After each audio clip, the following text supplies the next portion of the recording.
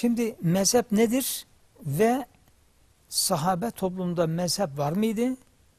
Yoksa bit'at mıdır? Sonradan uydurulmuş bir şey midir? Evet. Ve birçok insanda şu sözü, insandan şu sözü duyuyoruz. İndirilmiş din bir de uydurulmuş din. İndirilmiş din, uydurulmuş din. Bunu çok sık kullanıyorlar. Tabii ki bu sözü kullananların da bir fitneye alet oldukları, arka planlarında ciddi bir fitnenin bunları yönlendirdiğini rahatlıkla söyleyebilirim. Bu insanlar belki kimse bizi yönlendirmiyor filan diyebilir ama girdikleri çizgi tam da yaderlerin, gayrimüslimlerin fitne olarak aramıza soktuğu bir çizgidir bu. İster farkında olarak bu çizgide gitsinler, ister farkında olmadan gitsinler. Neyse şimdi mezhep meselesine gelelim.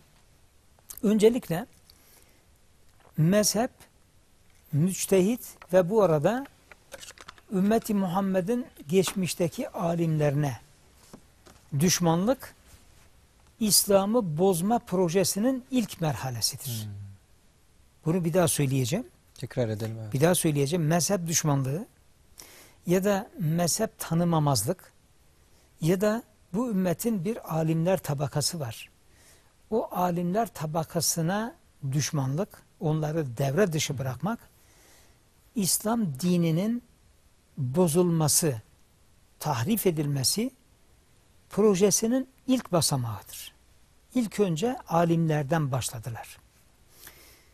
E, peki bozma ne, ne, bozmak ne demek ya da tahrif ne demek? Örnek vereyim. Mesela Tevrat'tan önce 100 sahife indirilmiş peygamberlere. 100 sahife, sahifeler halinde. Evet. Bu tek sahife de değildir. Bir, belki bir, bir mecmuadan ibarettir ama sahife diye geçer. Ondan sonra Tevrat indi. Tevrat 3300 yıl kadar önce inmiştir. Sonra Zebur indi. Zebur 3000 yıl kadar önce inmiştir. İncil de malum 2000 yıl kadar önce inmiştir. İnsanoğlu Tevrat'ı bozmuş. Zebur bir kültür yığını haline getirilmiş. İncil yine öyle. Hazreti İbrahim'in sahifeleri büyük ihtimalle Beni İsrail'in elinde vardı. Yahudilerin elinde vardı. Onu da yok ettiler. Şimdi üç büyük kitabı ve sahifeleri yok eden, bozan, tahrif eden insanoğlu Kur'an'ı da ona bağlı olarak İslam'ı da bozmayı planlamış. Planladıklarını anlıyoruz. İşte bu fasit ve küfür yolda ilerleyen insanların Kur'an'ı ve dolayısıyla İslam'ı bozmak için ürettikleri proje üç aşamadan meydana geliyor. Birincisi bu ümmetin alimlerine düşmanlık. İkincisi peygamberimizin sözlerine ve sünnete düşmanlık. Şu anda en büyük fitne o. Üçüncüsü Kur'an'ı nasıl efendim bozarız? Hı hı. İnsanların aklında nasıl karma karışık bir hale getiririz? Üçüncü proje budur. Buna da başladılar aslında Başladı, Tabii başladılar. Belliydi güzel, zaten. Evet. Çarş e, Perşembene gelince çarşambadan belliydi. Alimlere çatma işi taban tuttuktan sonra sünnete gelince Hı. anladık ki bundan sonra sıra Kur'an'a gelecek diye. Yani siz yıllardır söylüyordunuz hocam tabii, da hani ben hep merak ederdim. Acaba nasıl başlayacaklar? Nasıl Başladılar. bir giriş yapacaklar diye. Başladılar. Hakikaten işte bir evet. e, Türkiye'de evet. ismini vermeyeceğim bu profesörün e, Kur'an ayetlerini ya bu Kur'an ayetleri nasıl olur işte Allah'ın olabilir mi bu sözler gibi hemen bir fitneyle giriş yaptığını gördük. Evet. Onu gibi daha söyleyen çok kişi kişi ortaya çıktı. Geçenlerde evet. bir kişi daha ben duydum tweet hmm. atmış. Yani Haşa işte bunlar. Yani, evet. Neyse. Şimdi alimler ve dolayısıyla mezhebe doğru geleceğim. Mezheplere düşmanlık İslam'ı bozma projesinin ilk basamağıdır dedim. Hmm.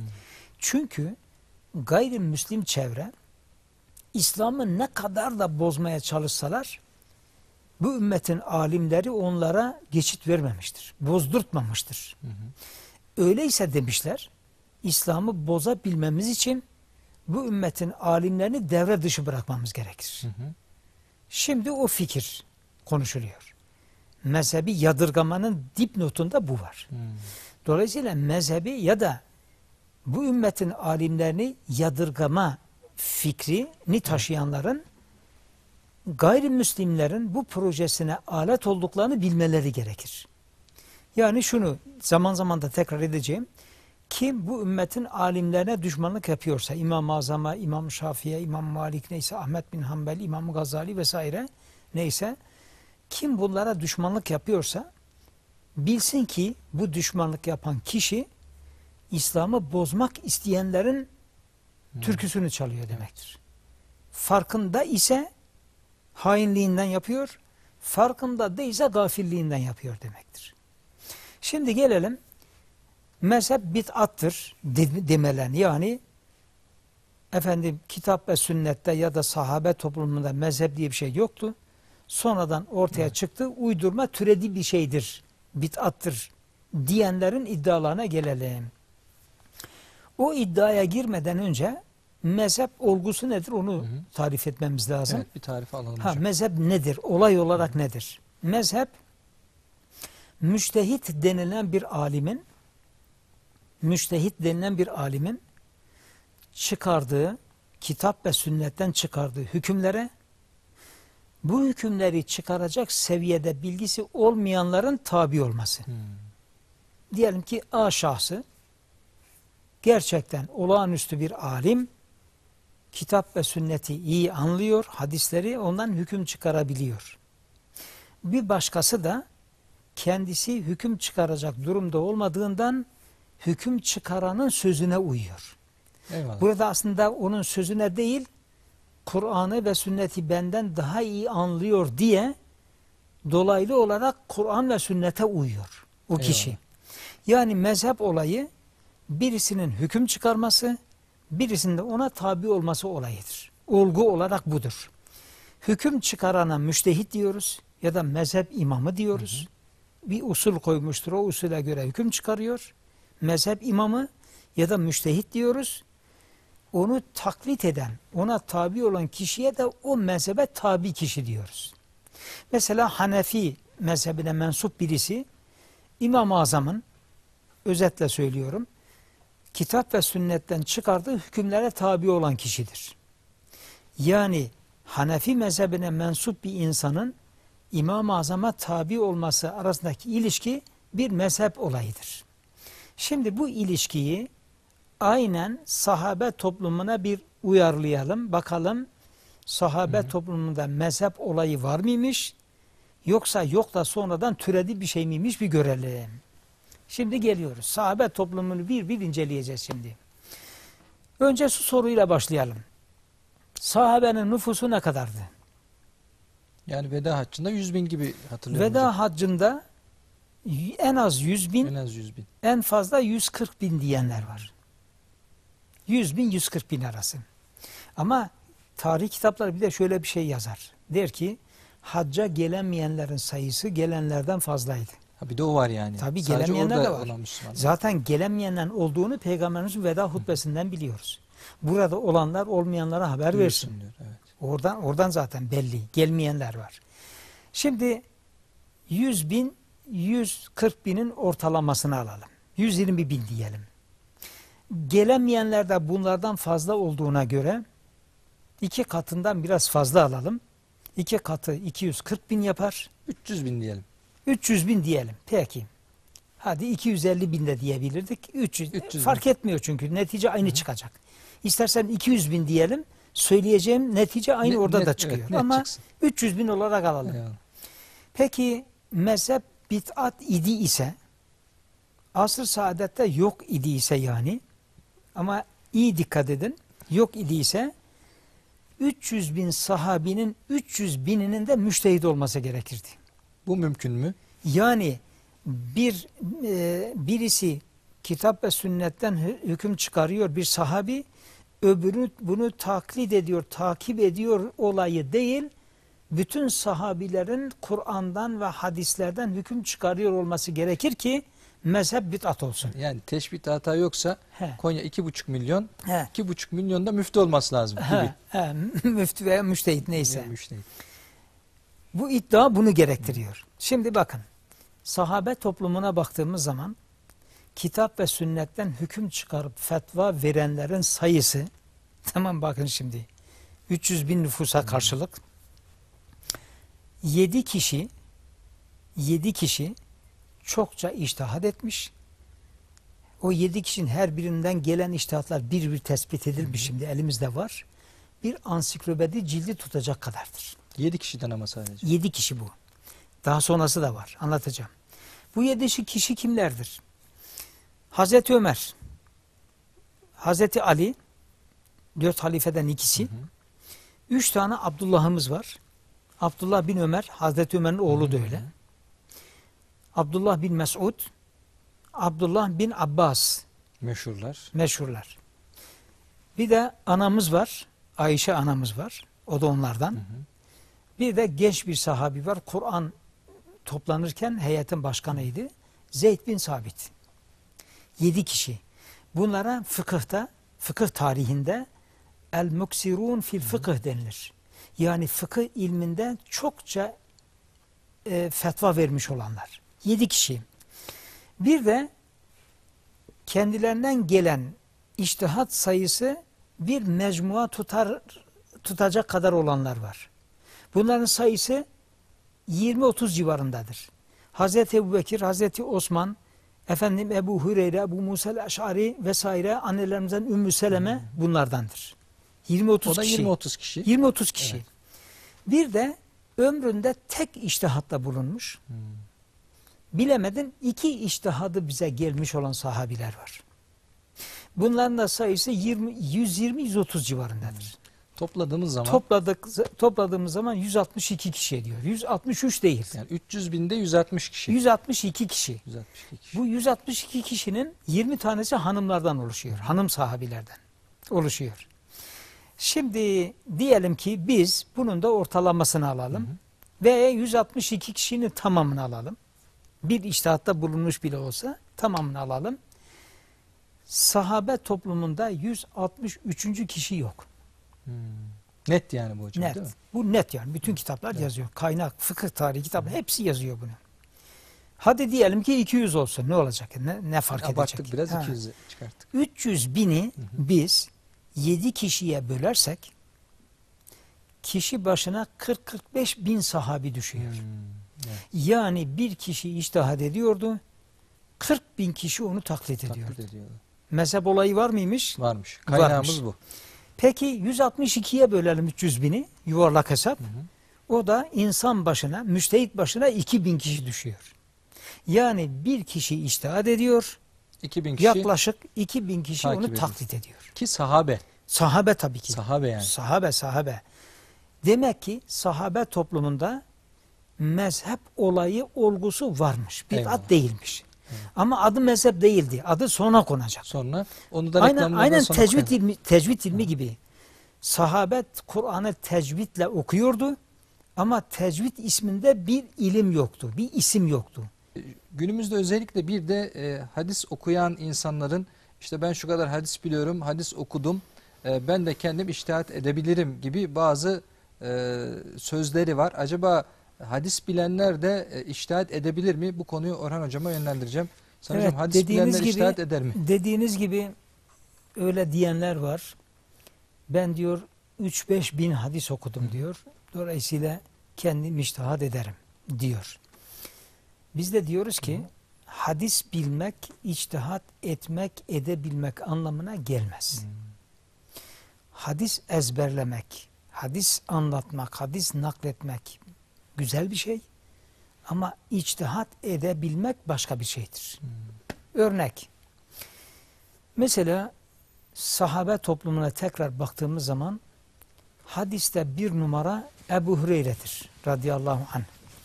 Hazreti Ebu Hüreyre bize 5374 hadis nakletmiştir.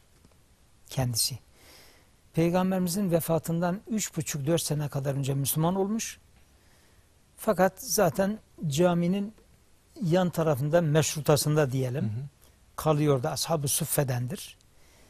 Peygamberimiz ne zaman dışarıya ayağını attı Ebu Hüreyre onun yanında oluyordu. E tabii ki onun yanında sürekli onun yanında olan kişinin peygamberimizden nakledeceği çok söz olur. Dolayısıyla en çok hadis nakleden de Ebu Hureyre'dir. Şimdi Ebu Hureyre en çok hadis nakleden kişi sahabede hadis hadiste bir numaradır ama Hı hı. fıkıhta bir numara değildir. Bu ne anlatır?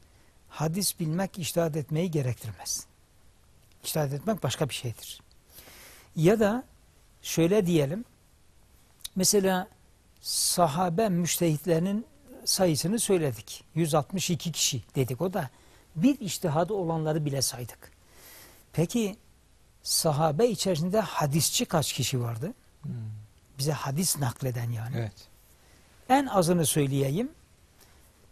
İçtihat edenlerin 10 katı hadis nakleden var. En az ama. 20 diyeceğim de fazla uçuk olmasın diye demiyorum. 10 katı. Yani Hı hı. sahabe toplumunda bir müştehit varsa bunun mukabiline 10 tane hadisçi vardı ya da 20 tane hadisçi vardı. Yani toplumdaki şeyi sahabe toplumundaki oranı gör. Onda bir ya da 20'de bir mesela. E peki hadis bilen iştihat ediyor olsaydı, edebiliyor olsaydı O zaman o zaman müştehit sayısının da 162 kişi değil hadisçilerde olduğu gibi birkaç bin kişi olması Hı hı. gerekirdi. Evet. Öyle olmamış. Öyle olmamış. Peki bir de şuna bakalım. Peygamberimizin veda konuşmasında, veda hutbesinde son cümle şudur. O çok daha olayı net olarak ortaya koyuyor. Fel yubellighi şahidul gaibe leallel gaibe ev'a min sami' Burada olanlar burada olan olmayanlara bu sözlerimi duyursun Evet. belki de burada olmayanlar olanlardan daha iyi anlamış olabilir. Evet. Yani oradaki sahabi peygamberin sözünü ezberledi. Gitti bir başkasına nakletti O da bunu Nakletti. aldı. Evet. ve o naklettiği kişi ondan hüküm çıkarabildi. Nakleden kişi hükmü düşünmedi mesela. Bu bize neyi anlatır? Hadis bilmek illa içtihad etmek anlamına gelmez. İçtihad etmek ayrı bir olaydır. Mesela hem hadisçi hem fıkıhçı olanlar var. Sahabe içerisinde. Abdullah bin Mesud bunlardan birisidir mesela. Annelerimizden Ayşe hı. annemiz böyledir Evet. mesela. Ondan sonra e, mesela diyelim ki sonrakilerden İmam Bukhari böyledir mesela. Onun bir de fıkıhçılık yönü var yani. Onun için sahihine baktığımız zaman bir hadis görürsünüz. Bir de bab başlığa bakarsınız. ba- babın başlığına bakarsanız dersin ki babın başlı, başlığıyla bu hadisin ilgisi yok filan dersiniz. Halbuki iyice düşündüğünüz zaman o hadisin ifade ettiği bir hüküm vardır. Hı hı. O hükmü İmam Bukhari başlık yapmıştır. Buna Bukhari'nin teracimi deniyor hadis usulünde. Her neyse hadis bilmek iştihad etmeyi gerektirmemektedir. Kısacası. Yani iştihat dediğiniz zaman sadece hadis girmiyor değil mi hocam işin içerisine? Yani e, ayet bilmeniz, Kur'an şey bilgisi, giriyor. yani çok şey giriyor. olay giriyor. Sadece hadisle Dil bilgisi değil. Tabii. giriyor. Dil bilgisi, belahat giriyor. Ondan sonra e, bir defa hafız olmayan alimimiz yok. Benim bildiğim Hı hı. filan alim hafız değildi diye ben hiçbir yerde bir şey okumuyorum yani. Hepsi hafız yani. Hafıza o kadar müthiş yani bizim bu ümmetin alimlerinde. E, hepsi onu biliyor. Hiç değilse hadislerin hüküm çıkaracağı kadar bir miktarını biliyor. Yani hüküm ifade eden kısmını hadisleri en azından işte iştahat edebildiği kadarını biliyor mesela. Ee, yani müştehit olmak biraz da sadece ezberde bir sözü taşımak değil, yanı sıra bir de muhakemeyi gerektiriyor. Evet, evet onu diyecektim. Yani ben. bir mühendislik kafasını gerektiriyor ya da matematik kafayı gerektiriyor ki ayet ve hadisleri karşılaştırıp hepsinin ortak bir noktasını tespit edip ha bundan şu hükümler çıkıyor da şu kaide çıkıyor diyebilsin. Tabii tabii. Ba- Başka bir olaydır yani. E, konuyu istersen dağıtmayalım. Dağıtmayacağım ama hani şundan dolayı dedim. Sayın Hocam. Hani derler ya, ya İmam-ı Azam Ebu Hanife de ne işte biz de yaparız ederiz. Ee, ya öyle İmam-ı değil. Azam Ebu Hanife olmak kolay değil yani. Öyle Müştehit kolay değil, olmak öyle. kolay değil yani. Bu, bu- bunu diyenler gelsin İmam-ı Azam'ın ticari konulardaki İçtihatlarını bir okutalım ona. Hı hı. Şaşsın kalsın bakalım. Bu, bu nasıl çıkardı buradan diye. Değil hocam ya? Tabii o zaman bir görsün. Allah rahmet eylesin. Yani matematikte iki bilinmeyeni denklem derlerdi eskiden. Değil mi? Ona ben bir miras meselesi sorayım İmam-ı Azam'ın çözdüğü. Kaç Çıkışın bilinmeyenliği bir görsün orada. Değil mi? Kaç bilinmeyen denklem yani. tabii tabii onu örneğini vereyim. Eyvallah. Bir kadın geliyor Hı. İmam-ı Azam'a bir kadın. Diyor ki ey imam bana zulmettiler diyor. Hı hı. Niye hayrola? Kardeşim, erkek kardeşim öldü. 600 dinar mal bıraktı. Bana sadece miras olarak bir dinar verdiler. Hmm. Senin bu meseleyi kim çözdü diyor İmam-ı Azam. Kadın diyor ki senin talebelerden Davud et-Tai çözdü. Davud et-Tai İmam-ı Azam'ın feraizi en iyi bilen talebesidir. Miras meselelerini. İmam-ı Azam diyor ki Davud zulmetmez demiş. Demiş yani. O Kesin doğru yapmıştır. matematik yani. Ondan sonra kadına soruyor bakın. 600 dinardan bir dinar miras kalmış. İmam-ı Azam soruyor ona. Bakın. Kaç bilinmeyeni deklenmiş onu görün. Hı hı. Kadına diyor ki senin erkek kardeşin geride bir karı, bir eş mi bıraktı? Kadın, hanım Hı mı bıraktı? Kadın evet diyor. Efendim senin eee, kardeşin geride bir ana mı bıraktı? Evet diyor. Peki senin kardeşin eee, iki tane kız mı bıraktı? Evet diyor. Peki seninle birlikte 12 tane erkek kardeş mi var diyor? Kadın evet diyor. Öyleyse senin hakkın 600'de birdir diyor. Bitti. Matematik. Bakınız veriler 600'de bir almış. Bir kız kardeş bütün akrabalarını çıkarıyor tek şeyde. bir hükümden hepsini çıkarıyor. Şey veri bir tane. Veri bir tane. Veri bir taneden 10 tane veri çıkarıyor. Hadi bakayım. Hakikaten zor hocam yani. Ben, evet, Allah razı olsun bize okuttunuz da yani ben onun için, oradan onun biliyorum için bu tabii. meseleye Zor. Davudiye ya da Dinariye meselesi deniliyor. Davudiye ya da Dinariye deniliyor. Ee, mesela geride bir karı mı bıraktı, iki kız mı bıraktı? Ha, bir nene de olabilir, anne de olabilir fark etmiyor. 12 tane, tane de erkek kardeş bıraktı. Her Evet. neyse iştihat etmek ayrı bir olaydır. Dolayısıyla öyle hemen biraz Kur'an okudum. Efendim epeyce biraz da hadis okudum ben iştihad ederim demek insanın kendi İslami yaşantısını bir bakıma e, tehlikeye atması e, hata ihtimali yüksek olduğu için dini yanlış anlaması ve yanlış yorumlaması, yanlış uygulaması sonucunu verir bu. Şimdi birisi bir toplantıda bizim imamlara, müştehitlere, mezhep imamlarına verdi, veriştirdi. Ondan sonra kalktım dedim ki bak bu ümmetin alimlerine kötü demeyeceksin. Mezhep imamlarına kötü demeyeceksin. Niçin? Beni İsrail alimlerini bir e, yan yana koyalım da bizimkilerin kıymeti anlaşılsın dedim. Beni İsrail alimleri Hazreti İbrahim'in sayfelerini yok etmiş.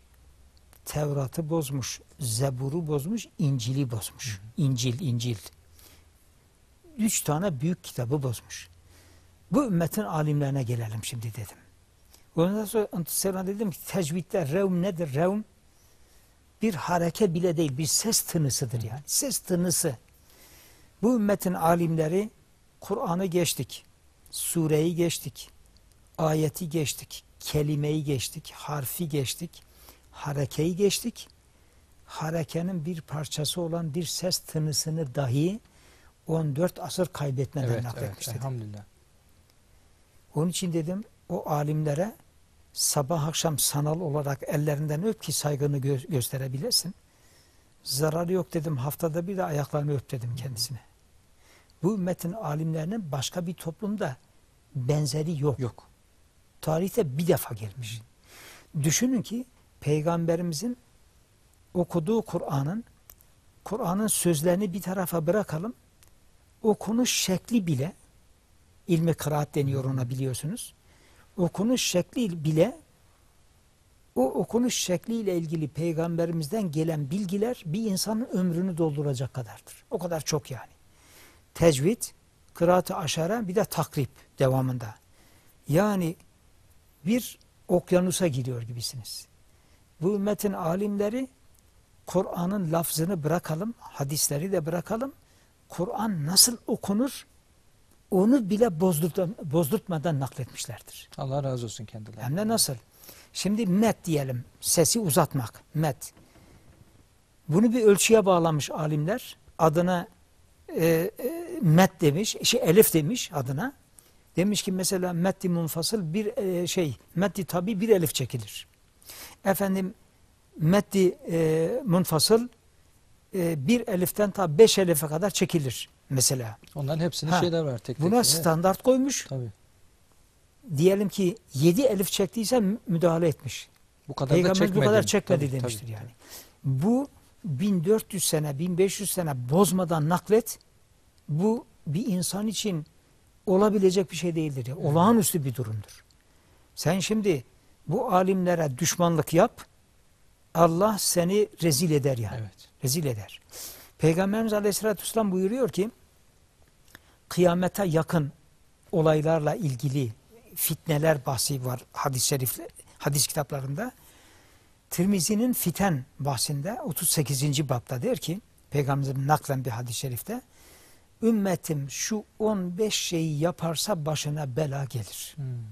O 15 şey ayrı bir programın Evet, konusu. Evet, evet. 15.si de diyor ki bu ümmetin sonradan gelenleri geçmişine lanet okuduğu zaman başına bela gelir. Sonradan Önemli gelen yani. tabi şimdiki insanlar, Evet. şimdiki Müslümanlar geçmiş Müslümanlara parantez içi o alimlere, mezhep imamlarına efendim kitaplarını cilt cilt kitaplarını okuduğumuz o derya gibi alimlere lanet okuduğu zaman bu ümmetin başına bela gelir. Şimdi böyle bir belalık iş yapıyor bizimkiler. Evet, netice-i kelam mezhep bid'at değil, çok normaldir.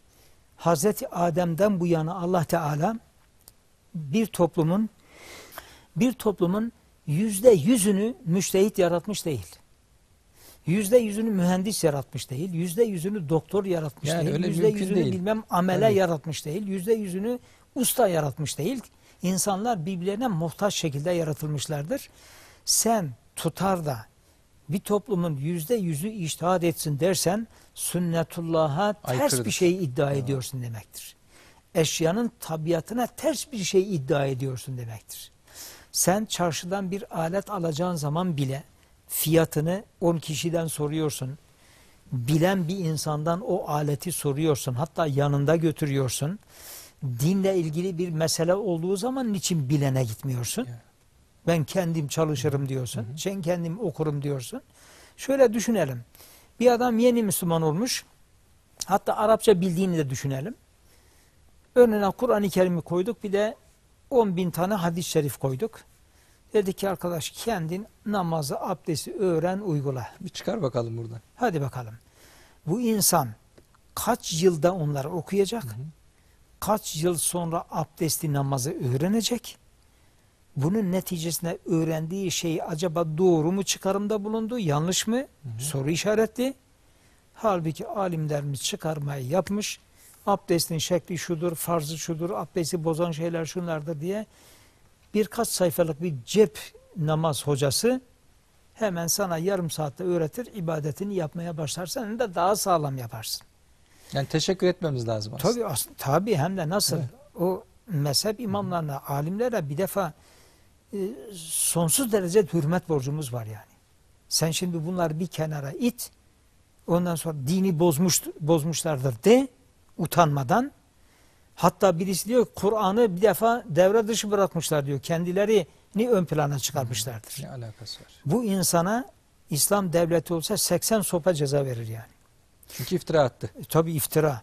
Ondan sonra bu insan ölür ölmez sanıyorum imamlar yak- yakasına yapışacaktır. Sen bize bu iftirayı na- nasıl yaptın diye.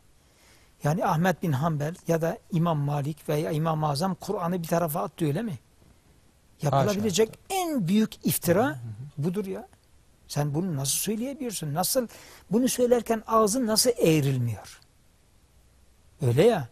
Velhasıl bizimkiler, bizim yeni yetmeler biraz da komplekslerinden dolayı çatıp duruyorlar. Hani çatarsan seni alim zannederler ya.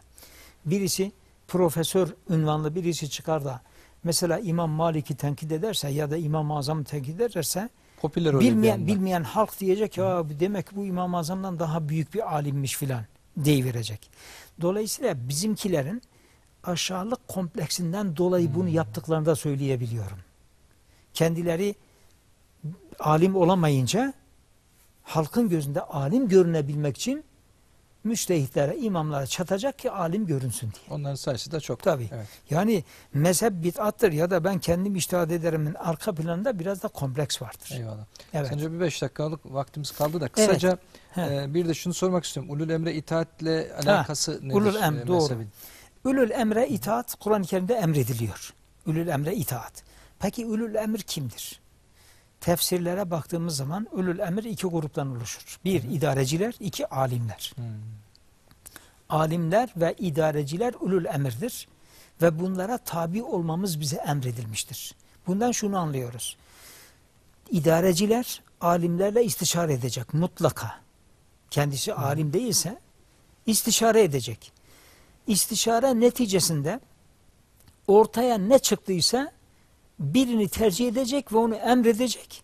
Halk da o emre uymak zorunda kalacaktır. Bu. Evet. Peki idareciler yoksa, idareci kesimi yoksa o zaman alimlere tabi olunacaktır. Dolayısıyla şöyle diyebiliriz. Bir devlet bir mezhebin bir görüşünü aldıysa başka bir konuda da bir mezhep, başka bir mezhebin görüşünü aldıysa halka düşen devletin tercih ettiğine tabi olmaktır. Ama diyelim ki devlet bir yeri boş bıraktı, oraya girmedi. Mesela zekat konusunu ele aldı da emirler verdi de namaza karışmadı diyelim. Bu durumda da herkes bildiği bir mezhebi taklit edecektir. Kendisi müştehit değildir büyük ihtimalle. Bir mezhebi taklit edecektir. Nasıl müştehit olsun ki? Biz koca fakültede bile namazın vaciplerini öğretelim diye uğraşıyoruz. E bu insana bir de sen içtihat et denirse ne olur? Bu din bu, bu din hangi şekle sokulur? Öyle ya. O zaman bu kişi, bu kişiye diyeceğiz ki adam gibi bir mezhebi taklit et de ibadetini kurtar hiç değilse Eyvallah. diyeceğiz. Öyleyse ilmi açıdan disiplini sağlayan iki unsur var. Birisi devlet, birisi alimlerdir. Alimlerdir. Devlet ve alimler varsa devlet alimlerle istişare edecek, emrini öyle verecek. Alimler var da devlet yoksa alimlere tabi olunacak. Herkes beğendiği bir alime tabi olur. Allah selamet versin. Peki alim yok da devlet varsa ne olacak? Bir de o var. Devlet var, idareciler var, alim yok. Bu durumda da idareciler acilen alimleri yetiştireceklerdir. Görevlerdir yani. Bu, Görevler- bu farz-ı kifayedir bu. Farz-ı kifayedir. Onu yapmaları gerekir. Ölül emir demek ki idareciler artı mezheptir. Bir izleyici sorumuz var. Çok e, onu soru vereyim hızlıca. Hı. E, Sayın Hocam İmam Buhari'den nakleden bütün hadisler sahih midir? Evet. Bazı uç noktaları da tartışan arkadaşlarımız var. Buhari'den nakledilen bir hadisi gösterip bunu mantıkla ve vicdanla açıklayabilir misin diyor. Biz zorlanıyoruz bu konuda. Evet. E, ben alim değilim. e, bu işin üstadları var deyip geçiştiriyoruz ama Hı. e, Buhari ve Müslüme bakış açımız nasıl olmalı? Kısaca dilerseniz. Buhari ve Müslim'in sahihinde Hı hı. geçen hadislerin hepsinin sahih olduğu konusunda bu ümmetin icmağı vardır. Bu Buhari'de bazı hadisleri gösterip de bunun akılla izah edilecek tarafı yoktur diyenler, yoktur diyenler iyi dinlesin seyircimiz. Evet. Bu Buhari'de geçen ya da Müslim'de geçen şu hadisin mantıki bir izahı yoktur. Kur'an'a ters düşüyor diyenler, diyen insanlar bu hadis kitapları ile ilgili şerhe baksınlar. Evet. Şerhe baksınlar. Onun örnekleri çok. Şerhte gayet güzel izah edildiğini göreceklerdir.